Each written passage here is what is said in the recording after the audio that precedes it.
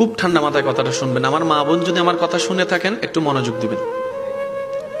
একজন মানুষ সকালবেলা চাকরিতে গেছে। এই যে, বাবা,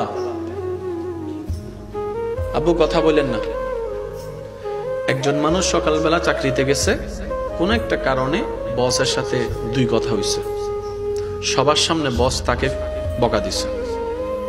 বকা শুনে সবার সামনে লজ্জিত হয়ে মেজাজ কিন্তু বসকে তো আর বকা দিতে পারে না। চাকরি চলে যাবে। এবার সেই মানুষটা আসরের সময় ঘরে আসছে, পাঁচটা বাজে। আসার পরে সামনে রুমে বসছে, মেজাজ কি? বলেন না, মেজাজ কি? ঘরের বউ কি জানে এটা? ওখানে কি হয়েছে এটা তো বউ জানে না। এবার যখন বউকে বলছে, একটু ফানি দাও। ফানি আনছে ঠিকই এখন ওই যে মেজাজ গরম, কেমনে মেজাজটাকে ঠান্ডা করবে, রক কেমনে দেখাবে? বসকে তো দেখাইতে পারে নাই। এবার শুরু করছে, হে, ফানি আনতে এতক্ষণ লাগে? বউ বলে যে, ফানি আনতে পাঁচ সেকেন্ড তো হয় না এখন বলছেন মাত্র। এবার যখন বউ বলছে, মাত্র আনতেছি, আমি আনতেছি। এই, তোরা তালাক দিয়ে দিব, এমন দিয়ে দিব। বউ কই কি রে?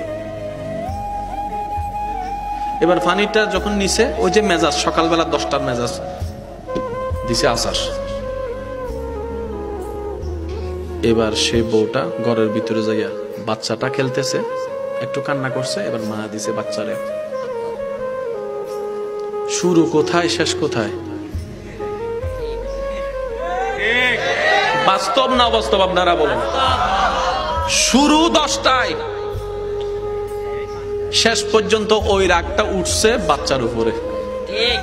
বাচ্চা হদায় গ্যাং গইলাম বিনা অপরাধে সাজা। বিনা অপরাধে